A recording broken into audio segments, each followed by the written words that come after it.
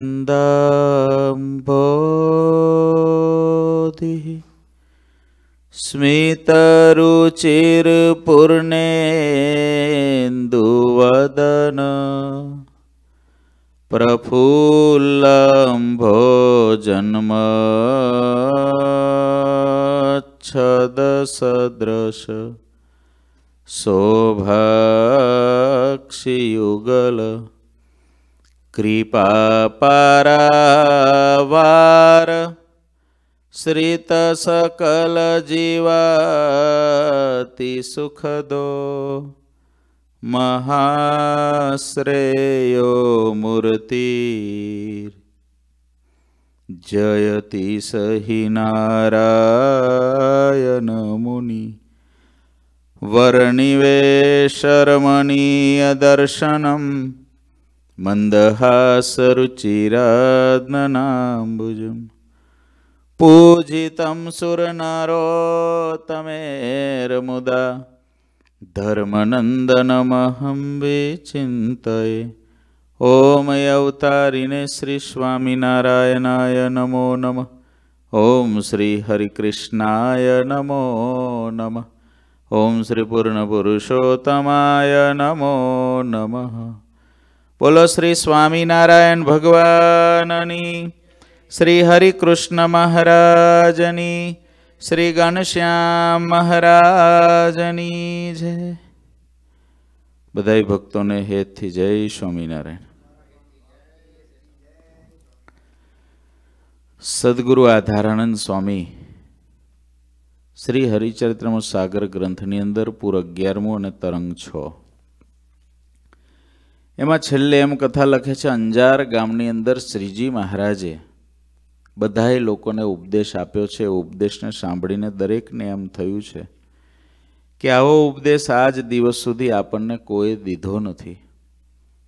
આ સદગુરુ સાચા છે. શ્રીજી મહારાજનો આશ્રિત દરેક વ્યક્તિ ત્યાં થયો છે અને અગિયાર નિયમો મહારાજ પાસેથી ધારણ કર્યા છે, પોતાના અંતરમાં ધાર્યા છે. દારૂ ન પીવો, માંસ ન ખાવું, ચોરી ન કરવી, વ્યભિચાર ન કરવો, વટલવું નહીં ને વટલાવવું નહીં અને વિધવાના સ્પર્શથી બચીને રહેવું. આગળ સ્વામી લખે છે મુક્ત મુનિ ઉત્તમ રાજાને કથા સંભળાવે છે, દેવ નિંદા કો કરના ત્યાગા, આત્મઘાત તજના બળ ભાગા છાને વિના પય નીરન પીના, છાને વિના પય નીરન પીના, વિમુખ કી કથા મે કાનન દીના, વિમુખ કી કથા મે કાનન નદીના દેવ નિંદા કો કરના ત્યાગા આત્મગાત તજના બળ ભાગા. સૌથી અગત્યમાં અગત્યની વાત ગઈકાલ આપણે સાંભળી હતી, કોઈ દેવની નિંદા ન કરવી. ભગવાનનો ભક્ત અને મુમુક્ષુ સાવધાન બને આપણું કરેલું બળી ન જાય એનું ધ્યાન રાખીએ. જે કોઈ બ્રહ્માંડના દેવી દેવતાઓ છે, એનું સંચાલન એ જે કાંઈ કરે છે, એ બધું પરમાત્માની આજ્ઞા અને ઈચ્છાથી કરે છે. જેને વિશે જ્યાં જ્યાં જેટલો પ્રકાશ દેખાય છે, બધો જ પ્રકાશ અક્ષરધામાધિપતિ પૂર્ણ પુરુષોત્તમ ભગવાન સ્વામિનારાયણનો આપેલો છે. એનો જ પ્રકાશ આપેલો છે, એનાથી જ બધા પ્રકાશિત છે. ચંદ્રના પ્રકાશનો ન અસ્વીકાર એ સીધો સૂર્યના પ્રકાશનો જ અસ્વીકાર છે. એવી રીતે કોઈ પણ દેવી દેવતા પાસે જે કોઈ પ્રકાશ છે બ્રહ્માંડો, આખું સંચાલન કરવા માટે પુરુષોત્તમ નારાયણે એમને શક્તિ, ઐશ્વર્ય, પ્રતાપ આપેલો છે. એનો સ્વીકાર કરવો, એને સમજવું એમાંથી પરમાત્માનો મહિમા સમજવો. એ બહુ અગત્યની વાત છે. શ્રીજી મહારાજે સારંગપુરના સત્તરમાં વચનાવતમાં મુક્તના ભેદનું વચનામૃત. ધ્યાનથી વાંચજો ક્યારેક. શ્રીજી મહારાજે એક પછી એક એક પછી એક એક એક સ્ટેપ ઉપર લઈ જાય છે અને પુરુષોત્તમ નારાયણ પોતાનો મહિમા સમજાવે છે. માટે કોઈ પણ દેવની નિંદા ન કરવી. ઘણાક લોકોને એવું હોય છે, હા નિંદાનો અર્થ એવો થતો નથી કે સમજણને વિવેક ન રાખવો. વચનામૃતમાં જ પ્રશ્ન પૂછાના છે. અવતાર સર્વે સરખા છે કે એમાં કાંઈ ન્યૂન અધિકપણું છે? અવતાર સર્વે સરખા છે કે ન્યૂન અધિકપણું છે? આવો પ્રશ્ન વચનાવતમાં જ છે. તો એનો જવાબ શ્રીજી મહારાજે આપ્યો છે, એનો ઉલ્લેખ કર્યો છે શ્રીજી મહારાજે લોયાના વચનાવતમાં એમ કીધું કે અમને આ અવતાર બહુ ગમે, એનાથી ઉપર આ અવતાર ગમે, એનાથી ઉપર આ અવતાર ગમે અને શ્રી કૃષ્ણને વિશેને તો અમારે અપાર હેત છે મહારાજ કે. એમને વિશે તો અતિ ઘણું અમને હેત છે. તો શ્રીજી મહારાજે અવતારોની તુલના કરતાં કરતાં કરતાં કરતાં ભગવાન શ્રી કૃષ્ણને વિશે પોતાનું હેત વધારે બતાવ્યું છે. એ નિંદા નથી. વિવેક એ નિંદા નથી. વિવેક દ્રષ્ટિ કે ઉપાસના પૂર્ણ પુરુષોત્તમની જ હોવી જોઈએ. એ પ્રકારથી જે સમજણ છે, જે દેવી દેવતાઓ ઈશ્વર કોટી બ્રહ્મકોટી અવતારો, એનું જે જે પ્રકારનું શાસ્ત્રમાં વર્ણન છે, શાસ્ત્રની રીતે સમજવું એને વિવેક કહેવાય. સમજણ છે એ નિંદા નથી. સમજણને રાખવી અને સમજણને આપવી એ નિંદા નથી. નિંદાના અર્થને સમજવાનો છે. નિંદાનો અર્થ એ થાય છેદ ઉડાડી દેવો. નિંદાનો અર્થ એ થાય કે એને કોઈ પ્રકારે સ્વીકાર કરવા જ ના દેવો ને સ્વીકાર કરવો જ નહીં. જેમ કે હનુમાનજી મહારાજ છે એ હનુમાનજી મહારાજને સારંગપુરમાં સદગુરુ ગોપાળન સ્વામીએ પધરાવેલા છે અને શ્રીજી મહારાજે પણ હરિચરિત્રનું સાગર ગ્રંથમાં માન્યતા આપી છે કે હનુમાનજી કે ગણપતિનો જ્યારે તમને કોઈ ઉપદ્રવ થાય, શિક્ષાપત્રીમાં પણ શ્રીજી મહારાજે આજ્ઞા કરેલી છે, જ્યારે રોગાદિક કે ભૂત પ્રેતાદિકનો ઉપદ્રવ થાય, ત્યારે કષ્ટભંજન દેવનો જપ કરવો. મહારાજે હરિચેતન સાગરમાં એમ કીધું કે જે સકામ છે, જેને સ્પીડી કંઈક જોઈએ છે, તો એને મહારાજ કે આ દેવોનો આશરો લેવો. એમાં અન્યાશ્રય દોષ લાગતો નથી. હવે શ્રીજી મહારાજની આજ્ઞા છે, અન્યાશ્રય દોષ નથી લાગતો. પણ જેને શ્રીજી મહારાજની ટેક હોય, એને કદાચ માની લો એની નિષ્ઠા એવી છે, મને સુખ આપે કે દુઃખ આપે, મહારાજ આપે, ભલે જે રોગ થયો હોય તો એ કદાચ કષ્ટભંજન દેવની માનતા ના કરે એટલે કષ્ટભંજન દેવનો વિરોધી નથી. બરાબર વાતને સમજજો. કે જેને પોતાને રોગ થયો, દુઃખ થયું, તો શ્રીજી મહારાજની આજ્ઞા છે કે આ દેવતાઓને તમારે સંભાળવા જપ કરવો. અને કોઈએ ન કર્યું એટલે શ્રીજી મહારાજની દ્રષ્ટિએ કે શાસ્ત્રની દ્રષ્ટિએ એ કોઈ કષ્ટભંજન દેવનો વિરોધી નથી. અને પોતાના ઈષ્ટદેવ ભગવાન સ્વામિનારાયણને વિશે નિષ્ઠા એટલી છે કે જે કરે. એમને આજ્ઞા કરવી હોય કષ્ટભંજન દેવને તો કરે. કષ્ટભંજન દેવ તો એમના સેવક છે ને. મારા ઈષ્ટદેવ આજ્ઞા કરે, આનું દુઃખ તમે ટાળો તો એ ભલે ટાળે. પણ મારે મારા ઈષ્ટદેવ સિવાય બીજાને કહેવું નથી. એની એવી દ્રઢતા હોય તો ભગવાન કે, કંઈ વાંધો નહીં, હું રાજી જ છું તારી ઉપર. અને કદાચ કોઈની એટલી દ્રઢતા નથી. અને એને એમ થયું કે ના, કષ્ટભંજન દેવ જલ્દી કામ કરે, આપણે દાદાને કહીએ. તો દાદા પાસે જાય. તોય મહારાજ રાજી છે. તોય રાજી છે, કારણ કે આજ્ઞામાં જ છે. પરંતુ જેને નથી કર્યું, એ દેવને માનતો નથી, એમ ના કહેવાય. દરેકની એક સ્થિતિ હોય છે, દરેકનું એક લેવલ હોય છે. પણ આ બધું દાંભિક ના હોવું જોઈએ. વાસ્તવિક હોવું જોઈએ. વરતાલ હરિકૃષ્ણ મહારાજના દર્શન કરે. હવે હરિકૃષ્ણ દર્શન કરે ને પછી રાધાકૃષ્ણ દેવના દર્શન કરવા આમ આંખ ઢાંકી દે. એ ઓવર કહેવાય. તો તો પછી ઘરવાળાને દર્શન ના થાય ને ઘરમાં. ઘરવાળાના દર્શન ના થાય, છોકરાના ના થાય. એટલે એ બધું પછી વધારે પડતું કહેવાય કે જેને સમજણ વિનાનું કહેવાય. સમજણ વિનાનું ના હોવું જોઈએ. ઉપાસના અને પતિવ્રતાની ટેક સમજણવાળી હોવી જોઈએ. આપણે એવી તો કેવી આપણી ટેક કે આપણે બધું બંધ કરવું પડે ત્યારે આપણી ટેક રહે. પતિવ્રતા સ્ત્રીને હજારો પુરુષ જોવે બીજા, પણ પોતાના પતિ સિવાય બીજે એને નિષ્ઠા ન બેસે ન બેસે, ન જ બેસે. એનું નામ તો પતિવ્રતા. બીજાને કદાચ સાચવવા પડે તો સાચવે પોતાના પતિના જાણીને પણ પોતાના પતિ સિવાય બીજે ભાવ ન બેસે, એનું નામ જ પતિવ્રતા. હજારો રૂપવંતા જોવે, પોતાનો પતિ નપુસક હોય, શિક્ષાપત્રીમાં ત્યાં સુધી લખ્યું ને, નપુસક હોય, કુરૂપ હોય, ગરીબ હોય. પણ મોટો તવંગર રાજા જોવે તો એ પતિવ્રતા સ્ત્રીનું મન ચલાયમાન ના થાય. મંદોદરી પતિવ્રતા હતી. રાવણની સ્ત્રી મંદોદરી પતિવ્રતા હતી. વૃંદા પતિવ્રતા હતી, જાલંધરની સ્ત્રી હતી. તો જાલંધર તો રાક્ષસ હતો. અને એની સ્ત્રી વૃંદા પતિવ્રતા હતી. એના બળે તો એ લડતો હતો. એનું પ્રતિવ્રતાપણું ભગવાને ખંડન કર્યું ત્યારે જાલંધરનું મૃત્યુ થયું. ત્યાં સુધી નહોતું થયું.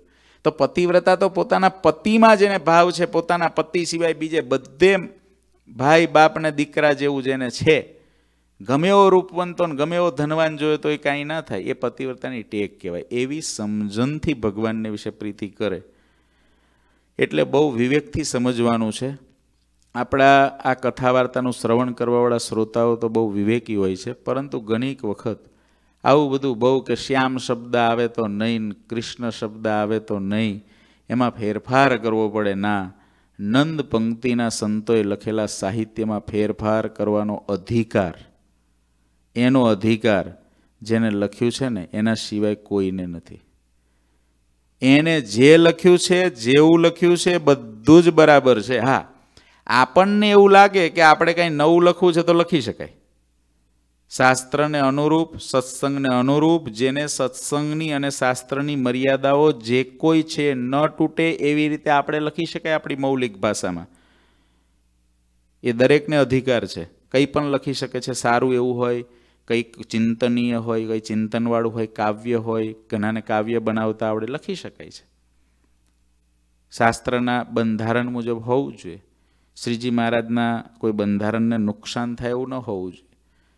તો કરી શકે છે. પરંતુ નંદ સંતોનું કરેલું હોય, કોઈની કૃતિ કરેલી છે, કોઈનું લખેલું શાસ્ત્ર છે, કોઈનું લખેલું કીર્તન છે, એમાં એક અક્ષરનો પણ ફેરફાર કરવાનો અધિકાર આપણને નથી. આ વાતને પણ એટલી જ સમજી રાખવા જેવી છે. એની અંદર શબ્દોને ઉમેરવા, એમાંથી શબ્દોને કાપવા, એની અંદર શબ્દનો ફેરફાર કરવો, એવું ક્યારેય પણ મૂળ ગ્રંથોને વિશે ન થવું જોઈએ. આ તો કોઈ આપણામાંથી એવું કરવાવાળા ન જ હોય, પરંતુ એટલા માટે આ ખ્યાલ રાખવો જોઈએ કે ક્યારેક આપણને એવી સમજણ આપવામાં આવી જાય ક્યાંકથી. તો આપણને ના ખબર હોય તો પ્રેમાનંદ સ્વામીને નહીં ખબર હોય, મુક્તાનંદ સ્વામી, નિષ્કુળાનંદ સ્વામીને નહીં ખબર હોય. નિષ્કુળાનંદ સ્વામી ભક્ત ચિંતામણી આવડી મોટી પરચા વિભાગની લખી.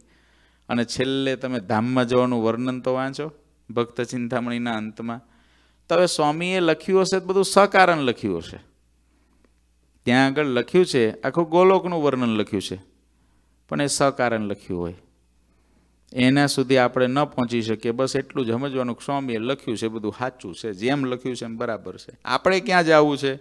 તો સ્વામીએ જ કીધું છે, અક્ષરધામમાં જવું છે. ઠેક બ્રહ્મવોલમાં પહોંચવું છે. એ નિષ્કુળન સ્વામીએ જ કીધું છે ને? પુરુષોત્તમ પ્રકાશ એમનો જ લખેલો છે ને? પરચા વિભાગની અંદર એમની જ વાતો આવે છે ને? બસ, ત્યાંથી એટલું ગ્રહણ કરી લેવું. ઓલું લખ્યું છે, એ સ્વામીએ જ લખ્યું છે. કેમ લખ્યું છે? એ સ્વામીને મળીએ ત્યારે પૂછવાનું કે સ્વામી, તમે આવું કેમ લખ્યું હતું સમજાતું નથી. કારણ કે એનો અર્થ કદાચ આપણે કંઈક સમજતા હોય, જુદો થઈ જાય, જુદો. એમને કયા અભિપ્રાયથી લખ્યું હોય આપણને ખબર ના હોય. હા, મોટા કોઈ એવા સત્પુરુષો એને ખબર પણ હોય. પણ મારો કહેવાનો અર્થ એ છે કે મોટાના લખેલા ગ્રંથમાં શંકા, કુશંકા કોઈ બાબતની કરવી નહીં. કારણ કે ગ્રંથ તો જંગલ છે. જંગલમાં બધી જ વાત આવે. બધી પ્રકારના હોય, બધી પ્રકારના ઝાડવા હોય. એમાંથી ગ્રહણ થાય એ કરવું. માટે નિંદા ન કરવી. પછી આઠમું છે આત્મઘાત ન કરવો. દેવ નિંદા કો કરના ત્યાગા, આત્મઘાત તજના બળ ભાગા. આત્મઘાત ક્યારેય પણ ન કરવો. આ કથા વાર્તાનું શ્રવણ કરવાવાળા શ્રોતાજનો આપણે બધા જ, હું ને તમે બધા જ, જીવનમાં એક વસ્તુ યાદ રાખવી. ક્યારેય પણ ગમે એવી પરિસ્થિતિ થઈ જાય, જીવનમાં ગમે એવું દુઃખ આવી જાય, નાસીપાત થઈ જઈએ એટલું દુઃખ આવે ને, તો પણ આત્મઘાત ન કરવો ન કરવો ન કરવો. શ્રીજી મહારાજે શિક્ષાપત્રીને વિશે ચૌદમા શ્લોકમાં કીધું, અને આત્મઘાત તો તીર્થને વિશે પણ ન કરવો, ક્રોધે કરીને ન કરવો. ક્યારેક કોઈક અયોગ્ય આચરણ થઈ જાય, તે થકી મૂંઝાઈને પણ આત્મઘાત ન કરવો. અને ઝેર ખાઈને તથા ગળે ટૂપો ખાઈને તથા કૂવે પડીને તથા પર્વત ઉપરથી પડીને ઇત્યાદિ કોઈ રીતે આત્મઘાત ન કરો. શ્રીજી મહારાજે આટલું બધું વજન આત્મઘાત ન કરવો એની ઉપર શા માટે આપ્યું છે? તીર્થને વિશે આત્મઘાત. ઘણા ક્ષેપક શ્લોકો એવા નાખી દીધા હોય કે કાશીમાં જઈને કરવત લો એટલે સીધા જ ધામમાં. એવું નથી. એમ કરવત લઈને જો ધામમાં પહોંચાતું હોત, તો તો આખી જિંદગી પાપ કરીને પછી કરવત લઈ લેવાની કાશીમાં જઈને, એટલે પહોંચી જાય? એવું કોઈ દી થતું નથી. ગંગાની અંદર પડી જાઓ, ગંગામાં વહી જાઓ, એટલે આ કલ્યાણ થઈ જાય. એવું થોડું હોય કે કોઈ માછીમારો માછલા પકડતા હોય એમાં તો જતા રહેતા હોય. ગંગા નદી પવિત્ર કરે છે. પાપને ધોવે છે. વાત સાચી છે. શાસ્ત્રમાં ગંગાનો મહિમા બહુ લખ્યો છે. પણ આત્મઘાત કરે તીર્થમાં જઈને કે ગિરનાર ઉપર જઈને એઠો પડે, ભૈરવ જાપ ખાય, એટલે એનું કલ્યાણ. આવી બધી શુલ્લક અને ઉપજાવી કાઢેલી વાતો સમાજમાં બહુ પ્રચલિત થઈ ગયેલી હતી. અત્યારે તો આત્મઘાતને ભૈરવ જાપ કરવા કોઈ જતા જ નથી. અત્યારે તો આત્મઘાત સુસાઇડ કરવો એટલે બિલ્ડિંગ પર ચડીને હેઠો પડે. આ ઝેર ખાય, દવા પી જાય આવું જ રીતે આત્મઘાત. ટ્રેનના પાટા આગળ જઈને હોઈ જાય, આવી રીતે આત્મઘાત કરતા હોય છે. પરંતુ શ્રીજી મહારાજ ના પાડે છે આત્મઘાત તીર્થને વિશે પણ ન કરવો. કોઈ તીર્થનો મહિમા સમજીને આત્મઘાત ના કરવો. હવે લખ્યું હોય કે ભાઈ આવા તીર્થમાં પ્રાણ છૂટે તો બહુ મોટું પુણ્ય થાય. ઠેક ભગવાનના ધામમાં પહોંચે એટલે એવા તીર્થમાં જઈને શું દવા પી લેવાની? ના રે ના. ભગવાનની ઈચ્છા હોય એ રીતે દેહ છૂટે, પણ આત્મઘાત ન કરાય. ક્રોધે કરીને ના કરવો આત્મઘાત વ્યક્તિ ક્યારે કરે છે? ક્રોધ આવે ત્યારે. એક વસ્તુ એ પણ યાદ રાખવી, કોઈ વ્યક્તિને આત્મઘાત કરવાની ઈચ્છા થાય ને એટલો ક્રોધે એને ના કરાવવો. એવું પણ પાછું યાદ રાખવું પડે. એટલો ક્રોધ કોઈને ના કરાવો કે કોઈને આત્મઘાત કરવાની ઈચ્છા થઈ જાય. આત્મઘાત તો કરવો જ નહીં. દરેક વ્યક્તિ આટલું તો પાક્કું રાખવું જીવનમાં ગમે એવું દુઃખ આવી જાય ને સંકટ આવી જાય, પહાડ તૂટી પડે ને, આત્મઘાત ના કરવો. કારણ કે આત્મઘાત કરવાથી દુઃખનો નાશ થતો નથી. અત્યારે ખાલી આ શરીર જ પડે છે. ફરીથી જન્મ લેવો પડે અને જન્મ લીધા પછી ફરીથી દુઃખ તો ભોગવવાના જ છે. માટે ગમે એવું દુઃખ હોય, ગમે એટલો ક્રોધ આવે, કારણ કે ઘણીક વખત શું થાય, આત્મઘાત કરવા માણસ તૈયાર થઈ જાય, દવા પી લે, હવે દવા પીને પછી જેની અસર થાય ને પછી દુઃખી થાય. એકવાર તો કેરોસીન છાંટીને હળગવા તૈયાર થઈ જાય. પણ પછી જે દજાવાનું શરૂ થાય ને, પછી બીજા કોકને બાજવા દોડે કે હવે મને ઓલવો. એના કરતાં ભાઈ, શાંતિથી બરફનો ગાંગડો લઈને હોઈ જા. જ્યારે મગજ બગડ્યું હોય ને ત્યારે હોઈ જવું. શ્રીજી મહારાજે વચનાવતમાં બહુ સરસ કીધું કે મૂરખ હોય ને, એને મૂંઝવણ ટાળવાના ઉપાય ચાર છે. એમાંનો એક ઉપાય કીધો કે આ હોઈ જાય. કા કોઈ આરે બાંધે. એમાં બાંધવા કરતાં હોઈ જવું સારું હોઈ જાય એટલે છ સાત કલાકમાં ભગવાને આ ઊંઘ એટલી સરસ આપી છે ને, સૂઈ જાવ એટલે મગજ લગભગ છ સાત કલાકે ઉઠો એટલે ફ્રેશ થઈ જાય. એટલે જ્યારે એવું કંઈ લાગે ને ત્યારે સૂઈ જવું. પણ ક્રોધે કરીને ક્યારે આત્મઘાત ન કરવો આ પતિ પત્નીના ઝઘડાઓ થાય, આ ઝઘડાઓમાં ક્રોધ એવો થઈ જાય, ન બોલવાના વહેન બોલાઈ જાય, અને પછી એમાંથી વચન દ્વારા આત્મઘાત થતો હોય છે. અત્યારે દુનિયામાં બહુ વધી રહ્યું છે. કારણ કે અત્યારના વ્યક્તિની બુદ્ધિ વધે છે, પણ સહનશક્તિ ઘટે છે. બુદ્ધિવાળા લોકો ઘણા પેદા થઈ ગયા દુનિયામાં અત્યારે. રૂપાળા પણ અત્યારે હવે પહેલાં તે પહેલાં ખેતરમાં કામ કરતા, હવે તો બધાને બહુ સરસ સુવિધાઓ વચ્ચે એટલે બધું જ શરીરની સુવિધાઓ બધુંય બહુ સરસ મળી ગયું. પણ સહનશક્તિ વ્યક્તિની બહુ ઘટી ગઈ. સહન કરવાની તાકાત જ નહીં. જેના કારણે ક્રોધ આવે ને આત્મઘાત થઈ જાય. તમે અત્યારના દીકરા દીકરીઓ તમે જુઓ ને, તમે જેટલું સહન કર્યું હોય, એના દસમા ભાગનું એ લોકો ના કરી શકે. પછી તમે શું વિચારો? અમે તો નાના હતા, ત્યારે કેવા હતા ને આ જુઓ ને બધાય. એક છોકરાને એના બાપે કીધું હતું ઘણા વર્ષો થઈ ગયા. મારી સામે જ કીધું. મને કે, સ્વામી આ છોકરો કે આને કાંઈ સમજાવો કે? એને પૂછો એના બાપા બાપા એના જેટલા હતા, ત્યારે ઠીંગડા મારીને ચડ્ડી પહેરતા હતા કે. અને આ મારે આવું પેન્ટ જોઈએ ને, આવા બૂટ જોઈએ ને, આવી ગાડી જોઈએ ને, અહીં અમેરિકાનો જ. એટલે મેં કીધું, ભાઈ, શું કે તારા પપ્પા? સાંભળ. તે ઓલા છોકરાએ શું કીધું ખબર? મને કે સ્વામી, એમના નસીબ એવા એવું પહેર્યું. અમે શું કરીએ કે એમાં? એના નસીબ એવા હતા હવે એ છોકરો કેટલું સહન કરે કહો મને. મેં કીધું, તારી વાતે સાચી, એના નસીબમાં એવી જ ચડ્ડીઓ હતી એટલે એમ જ પહેરે ને બાપા. તું એનો ઋણાનું બંધનથી જન્મેલો લેનદાર છો. એટલે તું તો લેવા જન્મ્યો છે, આપવા તો જન્મ્યો જ નથી, એટલે તું તો બધું સારું જ પહેરવાનો. એટલે ભગત એવું જ હોય, આપણે સ્ટોરની બળદની ગદ્દા મજૂર કરીને તૂટી જઈએ. એ એમ જ હોય, આ ઋણ ચૂકવવાનું છે. હજુ જ્યાં સુધી બાકી હશે ને, ત્યાં સુધી દોહરું રહેશે અને જ્યારે પૂરું થશે ત્યારે ઉતરી જશે. એવું છે. દાદાઓનું ઉતરી ગયું દોહરું જો. નહીં બેબી સિટિંગ એકેય સિટિંગ નહીં, ખાલી ઠાકોરજીનું સિટિંગ રહ્યું. આ ઉતરી ગયું ઋણાનું બંધન તમારું પૂરું થયું એટલે અહીં બેઠા છો, હા? અને હજુ બાકી હોય ને તો બેબી સિટિંગ કરવા બોલાવે. કે આવજો આટલું બાકી ના રહી જવું જોઈએ હજુ છેલ્લે છેલ્લે. પણ નથી બોલાવતા, એટલે સમજો કે પૂરું થઈ ગયું છે. હા, બધાય આવે કરમના લેખ પૂરા. ઋણાનું બંધન પૂરું આવે ખાલી ઘનશ્યામ મહારાજ આરે સંબંધ. બાકી ક્યાંય નહીં. એવું થશે ને ભગત, પછી સ્ટોર નહીં જવું પડે. દાદા પાસેથી શીખજો યુક્તિ એવી. એટલે ક્રોધે કરીને પણ આત્મઘાત તો ક્યારેય ન કરો. અને એવા વહેન જ ના બોલવા કે કોઈને ક્રોધ આવી જાય. એટલો બધો ક્રોધ આવે, એટલી કડવી વાણી, એટલી કર્કશ વાણી બોલીને કામ શું? બીજું ક્યારેય કોઈ અયોગ્ય આચરણ થઈ જાય. કોઈ મોટો વ્યક્તિ હોય, સમાજની અંદર પ્રતિષ્ઠા હોય, દુનિયાની અંદર પ્રતિષ્ઠા હોય, પોતાના પરિવારની અંદર પ્રતિષ્ઠા હોય, પોતે સન્માનવાળો હોય, અયોગ્ય આચરણ થઈ ગયું, તો કે છે આત્મઘાત ન કરવો. ક્યારેય ન કરો. કારણ કે અયો, એવું કરવાથી કોઈ દી તમારા દુઃખનો અંત આવતો નથી. મૂંઝવણ થાય ને, આ બધું થાય છે કે મૂંઝવણના કારણે? આત્મઘાત વ્યક્તિ ક્યારે કરે છે મૂંઝવણ? કશું દેખાતું જ નથી એને. હવે એને રસ્તો જ નથી દેખાતો. અંધારું ઘોર જ્યારે દેખાય ત્યારે વ્યક્તિ આત્મઘાત કરવા તૈયાર થાય છે. પણ જીવનમાં ગુણાતીતાનંદ સ્વામી એટલે જ કીધું, બે સારા સાધુ ત્રણ સારા હરિભગત ભેગા જીવને બાંધવો. એ જો બાંધેલો હોય ને, તો આત્મઘાત ના થાય.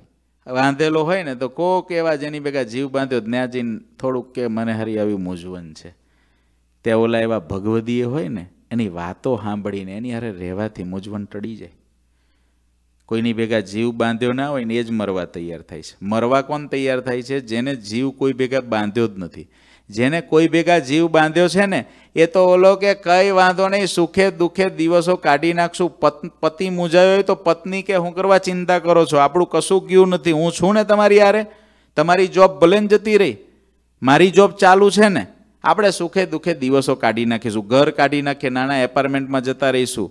હું કરવા ચિંતા કરો છો તમે? મૂંઝાતા નહીં. પેલો પુરુષ હિંમત હારી ગયો હોય ને, તો પત્ની એવી હોય ને, તો પત્ની ઓલા પતિને બળ આપે ને કે આપણે જિંદગી કાઢી નાખશું. ચિંતા ના કરો. પત્ની હિંમત હારી ગયો હોય ને, તો પતિ કે કઈ વાંધો નહીં, આપણે નાના ઘરમાં જતા રહીએ, ખર્ચા ઓછા થઈ જશે, આ કાઢી નાખીએ, ચિંતા ના કરીશ હમણાં દિવસો નીકળી જશે, જીવવું કેટલું આપણે? પણ મરે નહીં. આવી આત્મીયતા, જ્યારે કોઈ પણ આત્મીય વ્યક્તિની પરીક્ષા આપતકાળમાં છે. તમારો આપતકાળ હોય ત્યારે આત્મીયજનની પરીક્ષા છે, આપતકાળ ના હોય ત્યારે આત્મીય તો હજારો હોય. આપતકાળ જ્યારે નથી, દેશકાળ વિપરીત નથી, ત્યારે તો હજારો તમારા આત્મીય હોય ને હજારો તમારા સગા હોય. હજારો તમારે ત્યાં બધી જાહો ચાલીને બધા હોય તો બધા કે બહુ સરસ, હા? જરૂર હોય તો કહેજો. આપતકાળ છે. ત્યારે આત્મીયજનની પરીક્ષા છે. આત્મઘાત ન કરવો એ તો બરાબર છે. પરંતુ કોઈ વ્યક્તિ, આપણા પરિવારનો, કોઈ રીતે આત્મઘાત તરફ ન જતો રહે. એના માટે પણ આપણે એને બળ, હિંમત આપવી જોઈએ. તમારો ભાઈ હોય, તમારા કોઈ સંબંધી હોય, સમાજની અંદર કોઈ સારા વ્યક્તિ હોય, તો એને હિંમત અને બળ આપવું જોઈએ. એને આત્મઘાત સુધી ન પહોંચવા દેવો જોઈએ. કારણ કે મૂંઝવણ છે ને, એ એટલું ખતરનાક પ્રાણી છે કે ના પૂછો વાત. અને મૂંઝવણ કોને ના આવે? એ તો મુક્તાનંદ સ્વામી જેવો આકાશ જેવી જેની સમજણ હોય ને, એને મૂંઝવણ ના આવે. નહીં તો જીવનની અંદર ઘણા પાટાઓ ભગવાને એવા બેહાડ્યા હોય ને આપણા, તે મૂંઝાઈને ક્યાંય પૃથ્વીના પાતાળમાં જતા રહો, પેટાળમાં જતા રહો. એવું, એવી જીવનની અંદર મૂંઝવણો આવે, ન આવે એવું નહીં. કેટલા હરિભક્તો ભગવાન કેટલા સુખેથી ભજતા હોય. હવે એના ઘરની અંદર બધું જ સરસ હોય. અને ખબર નહીં, દીકરા દીકરીઓ અઢારને એકવીસ વર્ષના થાય, સત્સંગમાં કેટલા હાચવ્યા હોય ને એકવીસ વર્ષે, એવું કુંડાળું કાઢે ને. ઓલા હરિભગતને ઘરવાળા હોય એને એટલી મૂંઝવણ થાય, પણ ના, મૂંઝાશો નહીં. તમારો શું વાંક છે? તમે અઢાર વર્ષ, સત્તર વર્ષ સુધી એને પાલન પોષણ કરીને સત્સંગના સંસ્કાર આપ્યા, બધું કર્યું. તમે એને જ્યાં મૂકવાના, ભણવા મૂક્યા, ત્યાં પણ સાચવવા પ્રયત્ન કર્યો. ઘરેથી તમે એને જમવાનું બનાવીને આપ્યું. છતાં પણ એ વ્યક્તિઓ તમારા ઉપકારને ન સમજી શક્યા, સત્સંગના ઉપકારને ન સમજી શક્યા અને કુસંગના યોગમાં ખેંચાયામાં તમારો કોઈ દોષ નથી. મૂંઝાતા નહીં, કોઈને કદાચ આવું થાય તો. મૂંઝાતા નહીં. તમે તમારી બધી ફરજ નિભાવી લીધી. તમે મંદિર લઈ ગયા, સત્સંગ આપ્યો, પૂજા કરાવી.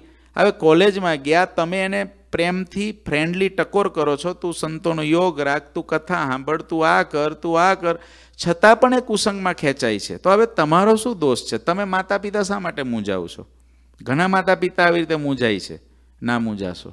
ભૂલી જાઓ ઋણાનું બંધનથી હતો કદાચ જતો રહ્યો નથી લગ્ન કરવાના, ન્યા લગ્ન કરી લીધા, તો કંઈ વાંધો નહીં, ભૂલી જાઓ. આ તો બધો ખેલ છે, જગતનો સ્વપ્ન વત છે. સ્વપ્નું છે. આમાં તમને પાત્ર મળ્યું હમણાં તમારી આંખ બંધ થઈ એટલે પાત્ર પૂરું. પિતાનું પાત્ર પૂરું દાદાનું પૂરું મામાનું પૂરું મામીનું પૂરું. ક્યુ પાત્ર તમારું રહેવાનું છે? જેવી આંખ બંધ એટલે સ્ટેજ પ્રોગ્રામ બંધ. આ સ્ટેજ પ્રોગ્રામ હાલે જ બધો. કર્યા કરવાનો આંખ ખુલ્લી રાખી હોય ત્યાં સુધી. સમજીને ભગવાનની ઈચ્છા પ્રમાણે. અને ભગવાનની ઈચ્છા બંધ થાય, સ્ટેજ પ્રોગ્રામ પૂરો. પરંતુ મૂંઝવણ ના આવે દેવી. મૂંઝવણમાં ના રહેવું, મોજમાં રહેવું.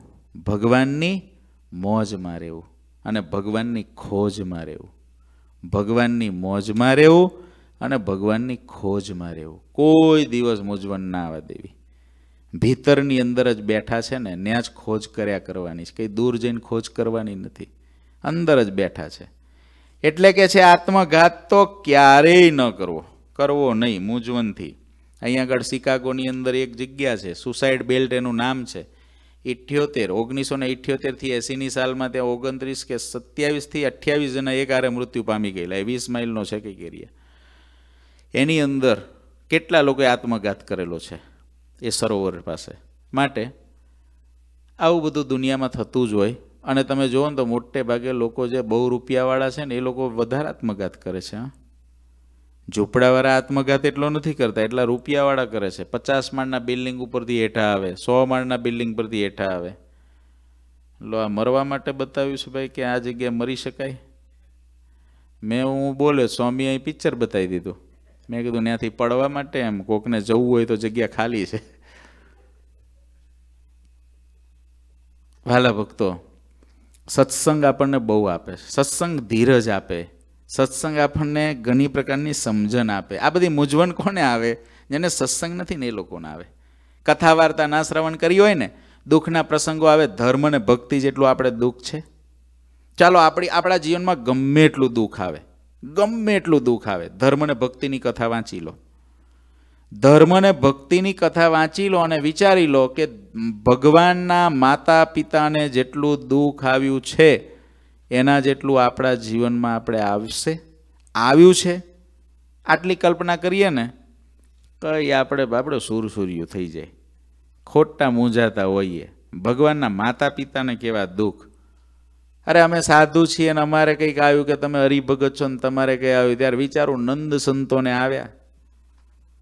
એ સમયના હરિભક્તોને આવ્યા નાત બારા મૂક્યા ને ગામ બારા મૂક્યા ને દીકરી દે નહીં દીકરો પરનાવે નહીં નંદ સંતો જ્યાં જતા ત્યાં માર ખાતા ને આવા બધા જે દુઃખ હતા, એમાંના ક્યાં દુઃખ આપણે આવે? અત્યારે કોઈ એવા મોટા મોટા ભગવાનના સંતો હોય, મોટા ભગવાનના ભક્તો હોય, એને જે દુઃખ આવે એમાંના મનન તમને આવવાના છે? કાંઈ નહીં. આપણે તો ખોટા કાંઈ હોય નહીં એટલી વાતની અંદર આપણી સહનશક્તિ જેટલી ઓછી હોય, જેના કારણે આપણે વાત વાતમાં મૂંઝાતા હોઈએ. માટે જીવનમાંથી મૂંઝવણને તિલાંજલિ આપી દઈએ. મૂંઝવણ જ નહીં. મૂંઝવણ જ નહીં. પુરુષોત્તમ નારાયણની ઈચ્છા એ જ આપણું પ્રારબ્ધ હોય. મહારાજ અંત્યના તેરમામાં કે આપણે જ્યારે આપણું તન, મન ને ધન ભગવાનને અર્પણ કર્યું ત્યારે એની ઈચ્છા એ જ આપણું પ્રારબ્ધ. એને આપણે બધું સમર્પિત કર્યું છે ત્યારે એની ઈચ્છા એ આપણું પ્રારબ્ધ છે, તો શા માટે મૂંઝવણ લાવી? ચાલ્યા કરવું બસ ચાલ્યા કરવું એને સંભાળીને ચાલ્યા જ કરવું એને સંભાળીને ચાલ્યા જ કરવું એને સંભાળીને એના તરફનો રસ્તો કાપ્યા જ કરવો, કાપ્યા જ કરવો, કાપ્યા જ કરવો. નટ ચડે, જેમ વાંસળે જોવાય આવે આખું ગામ. નટ ન જુએ, કોઈને જો જુએ તો બગડે કામ. નટ જેવું છે ભાઈ. એક ભગવાનની મૂર્તિ પકડીને હાલ્યા કરવાનું. કઈ આજુબાજુમાં જોવા જઈએ ખેલ બગડી જાય. માટે મૂંઝવણ ના આવવા દેવી. કારણ કે આત્મઘાત ના થાય તો ના કરવાનું થઈ જાય. ના બોલવાનું બોલાઈ જાય. મૂંઝવણ એવી વસ્તુ છે. ના બોલવાનું બોલાઈ જાય. ના વર્તવાનું વર્તી જવાય. એ બધું મૂંઝવણનું કારણ છે. માટે મૂંઝવણ ના આવવા દેવી. વધુમાં વધુ આ દુનિયામાં થઈ જઈ, થઈ જઈને શું થઈ જશે? અતિશય દુઃખ આવશે તો શું થશે? છેલ્લામાં છેલ્લું થાય તમારું મૃત્યુ થાય, બીજું શું થાય? એનાથી આગળની તો કોઈ મૂંઝવણ નથી ને? તો એ તો કાલે થવાનું છે, દસ દિવસ પછી થવાનું છે, પચાસ વર્ષ પછી થવાનું છે, આ ઘડીએ થવાનું છે. ક્યારે થવાનું છે એનું કાંઈ નક્કી નથી. છેલ્લામાં છેલ્લું કદાચ કોઈને દુઃખ હોય તો એ દુઃખ થાય. માટે મૂંઝવણ જીવનમાં ન આવવા દેવી સુખેથી જીવન જીવવું મહારાજની ઈચ્છાએ બીજું અનગઢ પાણી કે દૂધ પીવું નહીં. ગાળ્યા વિનાનું દૂધ અને પાણી પીવું નહીં. ત્રીસમા શ્લોકમાં મહારાજે કહ્યું, ગાળ્યા વિનાનું જળ અને દૂધ, તે ન પીવું અને જળને વિશે જીના જીવ ઘણા હોય તે જળે કરીને સ્નાનાદિક ક્રિયા ન કરવી. ઘણા ભક્તોને ઘેર નળ હોય ને નળની ઉપર ગળનું નથી હોતું. એવું થાય છે ઘણા ભક્તોને ઘેર આમ તો હોય છે મોટે ભાગે. પણ કેટલાક હજુ સત્સંગની અંદર નવા હોય કે પછી એવું માનતા હોય કે આમાં પાણી ચોખ્ખું જ આવે ને અહીં આગળ. એવું જે માનતા હોય ત્યારે ઘરમાં, રસોડામાં નળ ઉપર ગળનું હોવું જ જોઈએ. કઈ ગાડીને પાણી ઠાકોરજી માટે વપરાય એવું દરેક ભક્તોએ લગભગ હોય છે, પણ ક્યાંક ક્યાંક ના હોય.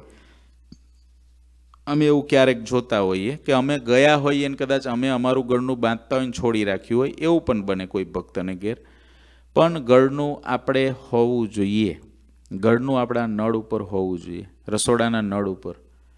અને એ ગાળેલા પાણીથી રસોઈ થવી જોઈએ. એ ગળનું રોજ પાછું ધોવાઈ જવું જોઈએ. કારણ કે તમે જો બાંધી જ રાખો ગનાને પેલી દોરી કોથળી જેવું બનાવ્યું હોય ગળનું, અને પછી આમ દોરી એવી ફીટ બાંધી હોય ને, ત્યાં બાંધી હોય એવી બાંધી હોય ગાંઠ બાંધી ન છૂટે. એવી ગાંઠ બાંધી હોય. અને એવી બાંધી હોય, એવી બાંધી હોય તો બે વર્ષથી પાણી પીને એ યલો થઈ ગયું, આખી પીળી, ધોળી દોરી પીળી થઈ ગઈ હોય. ગળનાનો કલર પણ બદલાઈ ગયો હોય. અને અમારે જેવા સાધુ પછી જાય, ત્યારે અમારે ગળનું બાંધવું હોય ને તો રીતસર ચપ્પુ કે કાતર લઈને ગળનાનું ઓપરેશન જ કરવું પડે. છૂટે જ નહીં, કારણ કે ગાંઠ બાંધી ન છૂટે. એવું ના હોય. રોજે રોજ ગળનું ધોવાઈ જવું જોઈએ. આ તો કંઈ બધાને ત્યાં આવું નહીં હોય, પણ કોઈને ત્યાં આવું હોય અને અમે આવી ગયા હોય ને આ એની જ વાત થતી હોય તો રાજી રહેજો. કથા આવી એટલે સાચી વાત કેવી અમારી ફરજ છે. અને અત્યારે હજુ રસોડામાં જઈને ચેક કરજો કથા પછી. જો આવું હોય તો ફરી ના થાય, એનું ધ્યાન રાખજો. કારણ કે કથા તો આપણા સુધારા માટે જ છે. ગળનું રોજે રોજ ધોવાઈ જવું જોઈએ. એટલે રોજ ધોવાઈ જાય એટલે ક્લીન રહે. અને ચીકણું ના થાય. નહીં તે દોરીને ઘણાએ દોર બાંધ્યું હોય પણ એટલી ફીટ ગાંઠ મારી દીધી ભાઈ ખોલવાનું જ ના હોય જાણે. આને કોઈ દી ખોલવાનું જ નથી. હાથ પેઢી ઉધી જાણે આગળનું ચલાવવાનું છે. કોઈ દી ખુલે જ નહીં. એવું નહીં. એ ગાળીને. દૂધ ગાળીને. તમે દૂધ ગેલનમાં આવે, એને ગળનીથી ગાળી લો અને પછી વાપરો. ભલે ફિલ્ટર આવતું હોય, પણ મહારાજે કહ્યું ગાળી લેવું ગાળી લેવું. ભગવાનના ભક્તો એવી જ રીતે આપણે અહીંયા મંદિરમાં કરીએ છીએ ને તેલ, ઘી બધું ગાળે જ છે. માટે ગાળીને વાપરવું, મહારાજની આજ્ઞા પડે. થોડીક વાર લાગે પણ મહારાજ રાજી થતો હોય તો હું વાંધો છે? પવિત્ર થાય. પ્રવાહી ગાળવાથી પવિત્ર થાય છે. લોટ ચાળવાથી પવિત્ર થાય છે. અનાજને જોવાથી પવિત્ર થાય છે. ગાલદા ગોદડા છે એને તપાવવાથી વાયુથી પવિત્ર થાય છે. દરેકની પવિત્રતા જુદી જુદી હોય છે. એ રીતે પવિત્ર કરવું. હરિવિમુખના મુખની વાત ન સાંભળવી. ભગવાનથી વિમુખ હોય ને એના મોઢાની વાત ના સાંભળવી ક્યારેય. ભગવાનથી વિમુખ એટલે ભગવાનના સ્વરૂપનું, ભગવાનના આકારનું ખંડન કરવાવાળો હોય. વચનામૃતમાં બહુ પ્રકારના વિમુખો શ્રીજી મહારાજે બતાવેલા છે. વચનામૃત પ્રથમનું સિત્યોતેરમું, પંચવર્તમાન રૂપ જે ધર્મ એને મૂકીને જ્ઞાનનું ભક્તિનું બળ લેશે, એ વચનદ્રોહીને ગુરુદ્રોહી છે. અને એવી ધર્મભંગ જે કોઈ વાત કરે, વિમુખ મહારાજ કે કેવો મધ્યના સાઠમાં મહારાજ કે ભગવાનનો ભક્ત હોય, એ ભગવાનના ભક્તે ભક્તને કંઈ દુઃખ આવે અને એને વિક્ષેપ ના થાય, તો એ તો વિમુખ હોય, એને જ વિક્ષેપ ના થાય. ભગવાનના ભગતના દુઃખે જે દુખ્યો ના થાય, એ વિમુખ. મધ્યના પાંચમામાં મહારાજે કહ્યું કે સાધુને સમદ્રષ્ટિ જોઈએ, પણ એ શાસ્ત્રનો મત નથી. નારદ સનકાદિક ધ્રુવ પ્રહલાદાદિક એમને ભગવાનને ભગવાનના ભક્તનો પક્ષ રાખ્યો છે, વિમુખનો પક્ષ રાખ્યો નથી. વરતાલના ચૌદમામાં મહારાજે વિમુખ જીવની વાત કરી છે, મધ્યના ત્રેપનમાં પણ મહારાજે વિમુખની વાત કરી છે.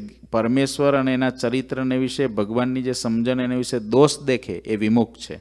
મધ્યના છવ્વીસમાં કીધું, બીજામાં અવગુણ જોઈએ અને પોતામાં ગુણ પરઠે. એ સત્સંગી કહેવાતો હોય તો એ અડધો વિમુખ છે. મધ્યના અગિયારમાં કીધું, ભગવાનના ભક્તની ને વિમુખ જીવની ક્રિયામાં ઘણો ફેર છે. વિમુખ જે જે ક્રિયા કરે પોતાના ઇન્દ્રિયોને લાલ લડાવવાના અર્થે કરે. એવી રીતે વિમુખની વ્યાખ્યાઓ વચનામાં ઘણી જગ્યાએ કરી છે. એ પ્રકારથી જે વિમુખ હોય, એના મુખથી વાતો ન સાંભળવી. વિમુખને પહેલાં વિમુખની વ્યાખ્યાને વચનાવૃતમાંથી સમજવી, એમાંથી કાઢવી અને પછી એમાંથી કાઢીને વિચારીને પહેલાં પોતાની જાતને નક્કી કરવી કે હું કેટલો વિમુખ છું, પહેલાં સન્મુખ થવું. સન્મુખ થવું અને પછી વિમુખને ગોતી આપણને આપણો યોગ વિમુખ સાથે ન થઈ જાય, એટલા માટે પછી વિમુખને ઓળખવો પણ વિમુખની વ્યાખ્યા વચનામૃતમાંથી ગોતવી. વચનાવૃતમાં છે. શ્રીજી મહારાજના રદગત અભિપ્રાયવાળો વિમુખ. એમાં છે. બીજું, અગિયારમું કીધું, કોઈને માથે મિથ્યા અપવાદ ન મૂકવો. મિથ્યા કૌ અપવાદ હિ ધરના નહીં કૌ શિર. એકાદશ નિયમ હિ રખે હરે જન ધીર. મિથ્યા અપવાદ કોઈના માથે મૂકવો નહીં. શ્રીજી મહારાજે વીસમા શ્લોકમાં શિક્ષાપત્રીમાં એમ કીધું, પોતાના સ્વાર્થની સિદ્ધિને અર્થે પણ કોઈના પર મિથ્યા અપવાદ આરોપણ ન કરવો અને કોઈને ગાળ તો ક્યારેય પણ ન દેવી. આને આપણે જે બોલતા હોઈએ છીએ, નિર્વિકલ્પ ઉત્તમતીમાં કલંક ન કોઈ કુ લગાત. મિથ્યા અપવાદ. એટલે કોઈનું કંઈ પણ જાણ્યા વિના, સમજ્યા વિના કોઈની સાથે આપણે ના બને. અથવા તો કોઈનું સાંભળીને કોઈના વિશેના આક્ષેપ કરી દેવાય, એને મિથ્યા આરોપ કહેવાય. આપણને જેનો અનુભવ નથી, કોઈ વ્યક્તિનો અનુભવ નથી કોઈના પરિવારના સભ્યનો અનુભવ નથી અને એની ઉપર સીધું કોઈ પણ પ્રકારનું કલંક નાખવું એને મિથ્યા આરોપ કહેવાય. શ્રીજી મહારાજ કે છે, એનાથી મારો આશ્રિત હંમેશા બચે. અગિયારમો નિયમ કે જેની અંદર જીવને બહુ મજા આવે છે. બહુ મજા આવે. કોઈની નિંદા કરવી. તમે જોજો. કોઈના ખરાબ અને નિંદાવાળા કોઈ સમાચાર તમારે કોઈને આપવા હશે ને, તો એક મિનિટમાં સો જગ્યાએ જતા રહેશે. પણ કોઈએ કંઈક સારું કાર્ય કર્યું છે, એના તમારે સમાચાર આપવા હશે ને? તો સો વ્યક્તિએ ફરશો ને તો પાંચ જ એક્સેપ્ટ કરશે. કારણ કે દુનિયાની, દુનિયાનું વિઝન નેગેટિવિટીવાળું છે.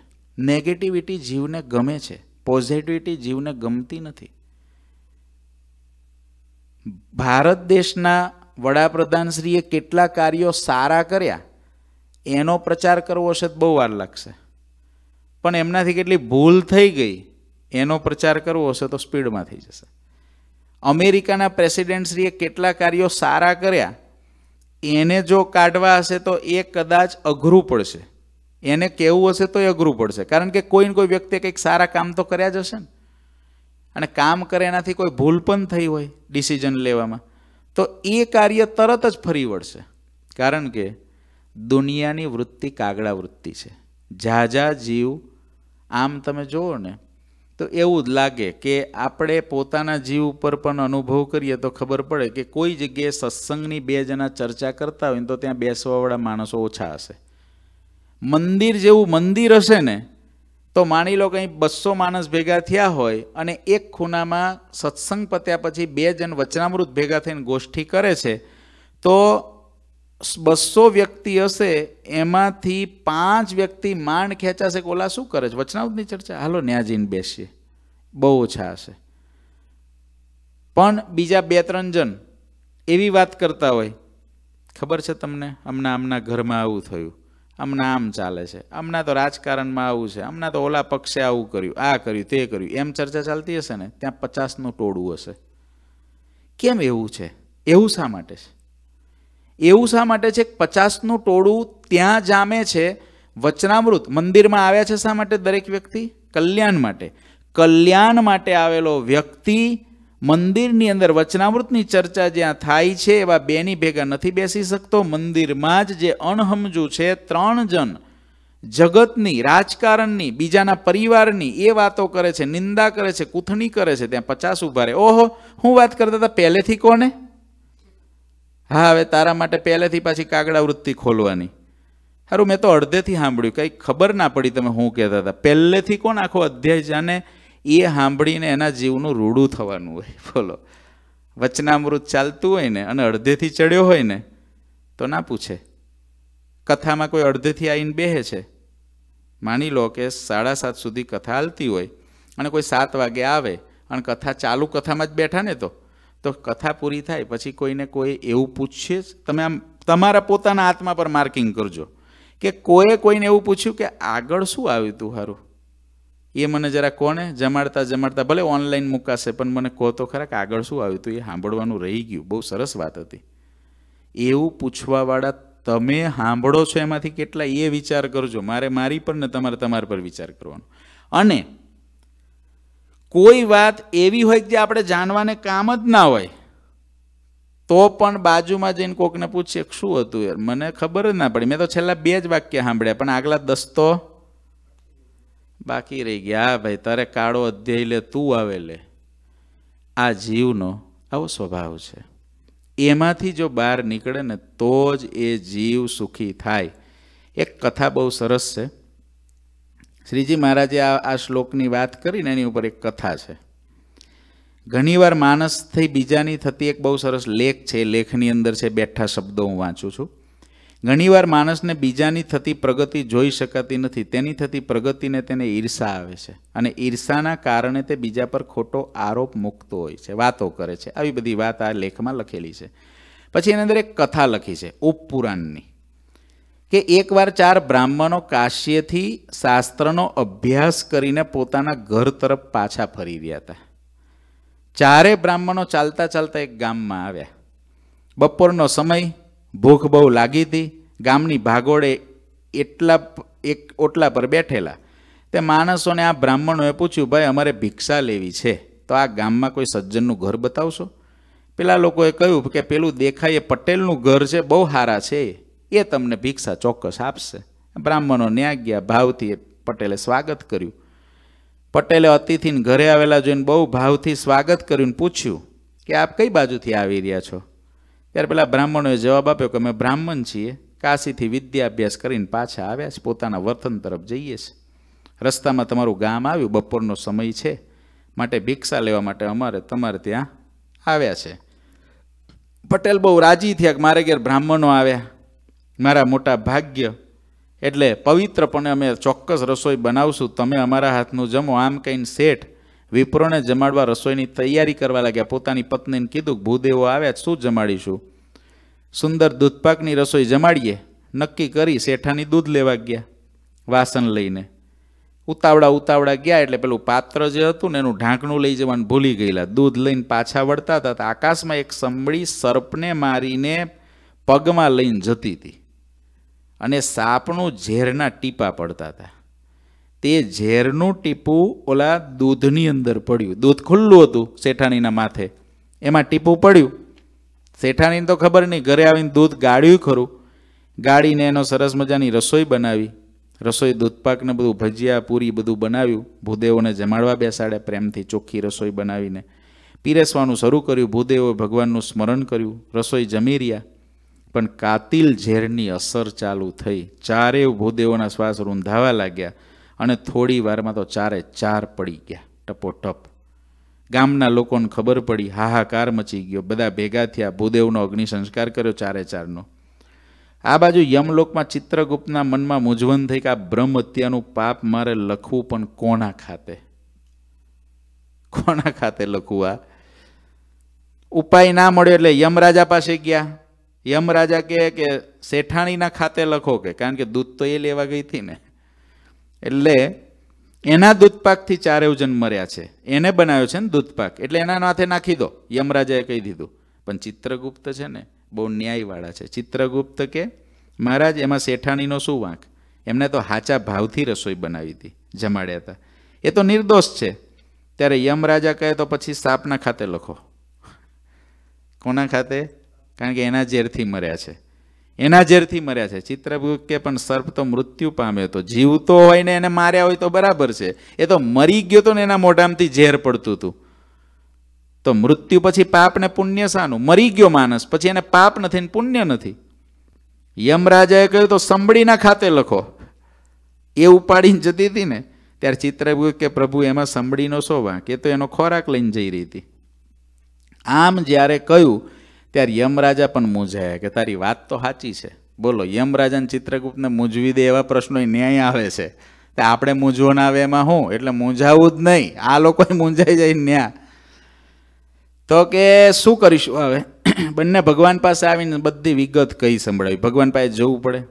ભગવાન યમરાજન ચિત્રગુપ્ત. ભગવાન કે ભાઈ, આ તો મારી માટે મૂંઝવણનો પ્રશ્ન. હાલો, પૃથ્વી પર જઈએ.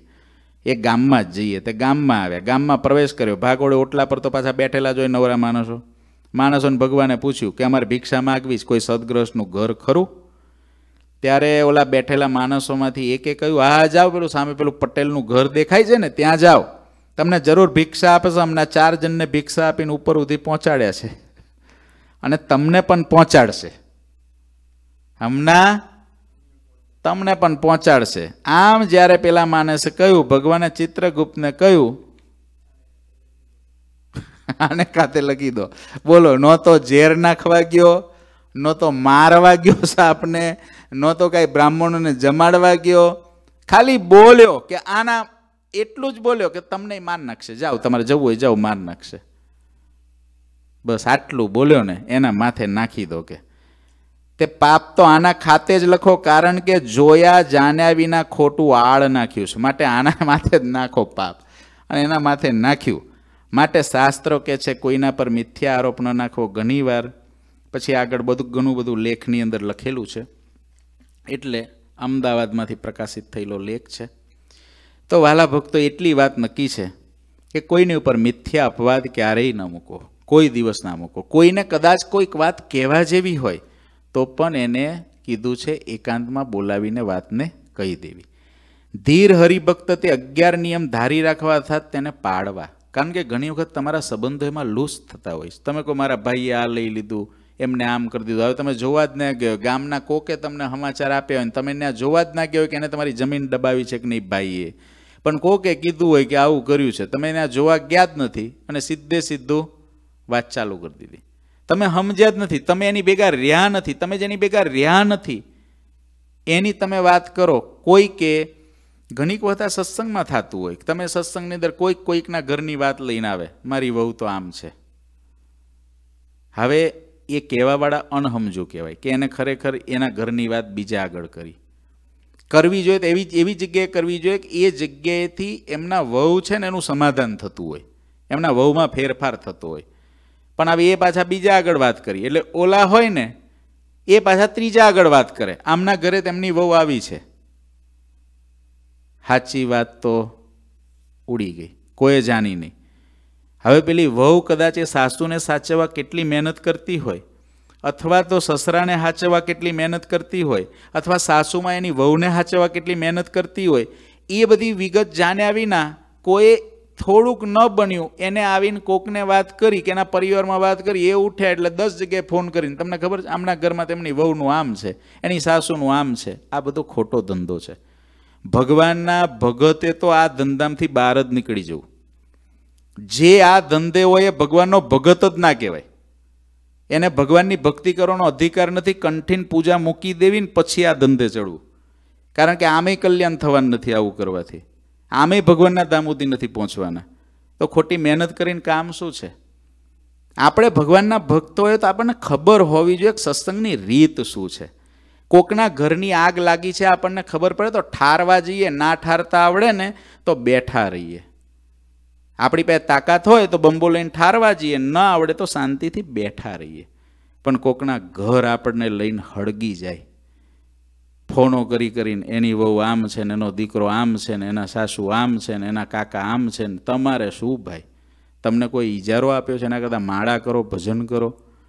ભગવાનના ભક્તો આવી ટેવોને કાઢી નાખજો. બાઈ હોય કે ભાઈ હોય, આ ટેવોમાંથી બહાર નીકળી જજો. હો તો ના હો તો વંદનીય છો. મને માફ કરજો. પણ જો હો તો આમાંથી બહાર નીકળી જજો. કોઈના ઘરની વાત કોકને કરતાં આપણને શરમ આવી જોઈએ. જો થતી હોય તો. અને જે કહેવાવાળા છે, એને એવી જગ્યાએ જ કહેવું કે જે આપણા ઘરનું સમાધાન કરી શકે. આપણા ઘરના બધા સભ્યોને સમજાવી શકે. એવી જગ્યાએ કેવું કેવું છે તો. પણ જેને તેને કહેવાથી કોઈ દિવસ સમાધાન થતું નથી, ઉપરથી આગ વધે છે વધે છે. અને એવો ખોટો હોય ખાલી ક્યારેક સાસુ વહુને ખાલી શાક પીરસવાની અંદર આમ તેમ થયું હોય કે ક્યારેક રોટલી વનતા હોય ને સાસુમાં એ ના પૂછ્યું અને સાસુમાં વનતા હોય ને વવે ના પૂછ્યું આટલો જ પ્રશ્ન હોય.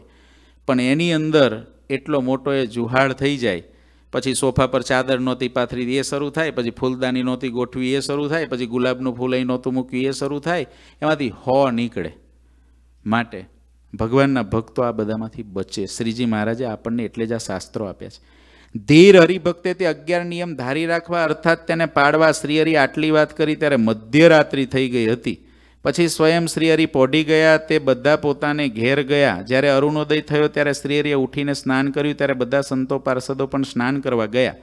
બધા નાઈને તરત પાછા આવ્યા. શ્રીહરિ તૈયાર થયા. સંતો પણ પૂજા કરીને ત્યારે તરત ચાલવાની તૈયારી કરી. શ્રીહરિએ જ્યારે ચાલતા થયા, ત્યારે બધા હરિભક્તો ગામ બહાર આવ્યા.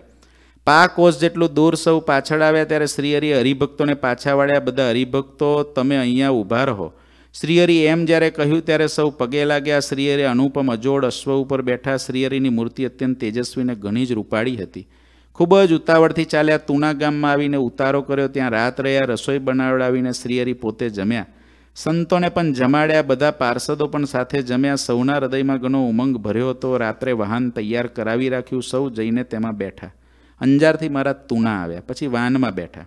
જ્યારે વાનને ઉપડવાનો સમય થયો ત્યારે તે ચાલ્યું તે પર દિવસ ચડ્યો ત્યારે જોડિયા બંદર ઉતર્યા, જોડિયા ગામ આવ્યા. શ્રીહરિને આવ્યા સાંભળીને સૌ હરિભક્તો સન્મુખ આવ્યા, બધાએ શ્રીહરિના દર્શન કર્યા, ત્યાં આગળ ભદ્રાવતી નદી તેમાં શ્રીહરિએ સ્નાન કર્યું. સાથે જે સંતોને પાર્ષદો હતા તે બધા નદીમાં નાહ્યા. ત્યાં નદીમાં જ સૌએ પૂજાને તિલક વગેરે કર્યું, પછી જોડિયા ગામ આવ્યા. સોનેરી સાત સામાનથી શણગારેલા અશ્વ ઉપર મહારાજાધિરાજ શ્રીહરિ બેઠા. પોતે પણ વસ્ત્રને અલંકાર આદિ બધો સાજ સોનેરી ધાર્યો હતો, મસ્તક ઉપર સોનેરી છત્ર ધારણ કર્યું હતું. બધી અદ્ભુત શોભા ધારણ કરી હતી. ઢોલ અને ત્રાંસા જેવા વાજિંત્ર વાગતા હતા. રાજમાર્ગ ઉપર સંતો અને હરિભક્તો કીર્તન ગાતા ચાલ્યા આવતા હતા. આદર ભાવવાળા ગામના લોકો બજારે ઊભા હતા. અપાર નરનારીઓએ હાથમાં ફુલહાર લીધા હતા. પ્રભુને જગદાધાર સમજીને પ્રેમથી ભર્યા ભક્તો અપાર ફુલહાર પહેરાવતા હતા. પાસે આવીને ચરણોમાં નમસ્કાર કરતા હતા. આમ લોકોને દર્શન દેતા શ્રીહરિ બજારમાં ચાલ્યા આવતા હતા. તે પછી સંતોને હરિભક્તોની સાથે સૌ હરિભક્તોને ઘેર આવ્યા. જોડિયા ગામમાં નારાયણભાઈ નામે એક સુથાર સત્સંગી રહેતા હતા. શ્રીહરિ તેના ઘેર ઉતર્યા. તેને શ્રીહરિ માટે એક નવરંગ પલંગ બિછાવી દીધો. બહુનામી સહજાનંદ સ્વામી શ્રીહરિ આવીને પલંગ ઉપર બેઠા. શ્રીહરિની મૂર્તિ ફુલહારથી ઢંકાઈ ગઈ હતી. પછી તેમને ઘણા જ પ્યારથી ફુલહાર સંતોને અને હરિભક્તોને આપ્યા. વરની અને પાર્ષદો સૌને પ્રસાદીના ફુલહાર આપ્યા. ફુલહારોથી બધી સભા અદ્ભુત શોભવા લાગી. અંજારમાં ત્યાંથી જોડિયા ગામ મહારાજ ગયા, ત્યાંની શોભા છે. પછી જોડિયા ગામના બધા હરિભક્તોએ મળીને રસોઈ કરાવવાની શરૂઆત કરાવી. શુદ્ધ પાણી ભરી આવ્યા વરની તરત રસોઈ બનાવવા લાગ્યા, પૂરી સાકરનો શીરો બનાવ્યો, ભજીયાને વડા તરત કર્યા, બીજા શાક પણ વિવિધ પ્રકારના કરાવ્યા. ત્યાં ધર્મકુમાર શ્રેરી જમવા બેઠા, બે પિતાંબર હતા, તેમાં એક પહેર્યું, બીજું ઓઢ્યું, હાથને ચરણ ધોઈને બાજટ ઉપર બેઠા, રસોઈ બનાવી હતી, પીરસીને શ્રીહરિને થાળ ધરાવ્યો.